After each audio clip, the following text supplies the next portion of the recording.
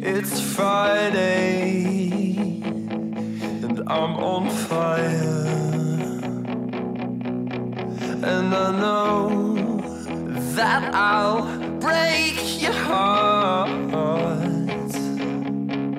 And I'm sorry